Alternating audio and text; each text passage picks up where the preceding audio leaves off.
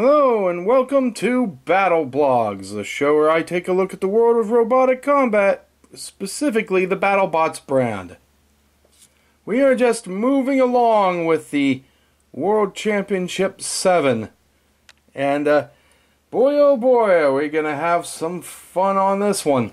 We start off with a surprising match as Ripperoni went up against a former world champion Endgame.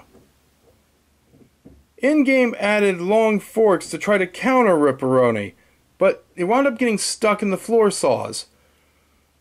Now, Rip's driver was a good sport and freed Endgame, but then showed its power and delivered a KO and a massive upset to the New Zealand Championship bot. Switchback and Death Roll went at it, and Death Roll returned to its bullying ways and bossed Switchback around until an eventual KO. With Captain Shredderator versus HiJinx, both weapons seemed to go out at one point, and the captain was seemed to be having problems driving as it uncharacteristically ran into the wall a few times.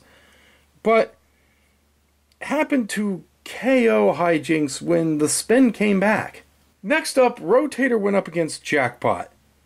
Chips flew off both bots, but ultimately Jackpot just kind of stopped moving, and Rotator scored a well earned KO. With Big Dill versus Skorpios, Dill showed a surprising amount of control, but at one point just suddenly stopped moving.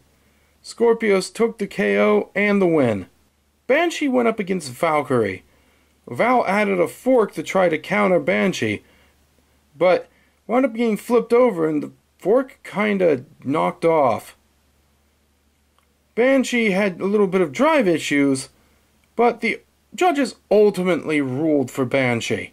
In the main event, we had a grudge match with Hydra versus Tantrum. Hydra wanted revenge for their previous matchup that they thought they were wronged in losing the previous time. This time, however, Tantrum was able to self right and then nail the underbelly of Hydra, which caused the, uh, the which caused Hydra to well lose, and Tantrum proved that it deserved the championship it won. This was a good one. Honestly, right out the gate, Ripperoni beating Endgame was a shocker, and I really hope there's a lot more shockers uh, along the way with the rest of the tournament.